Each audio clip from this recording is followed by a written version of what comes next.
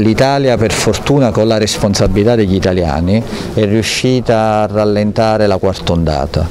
Eh, io non voglio neanche pensare di avere un Natale dove ci siano ulteriori restrizioni perché questo significa che non solo per i nostri operatori commerciali ma per noi stessi, devo dire non me la sento di fare un altro Natale come l'abbiamo fatto nei Natali scorsi, però per far questo ci vuole responsabilità, quindi vaccinazioni perché è inutile che ci giriamo intorno, l'unica leva che noi abbiamo per poterci difendere da questo virus è la vaccinazione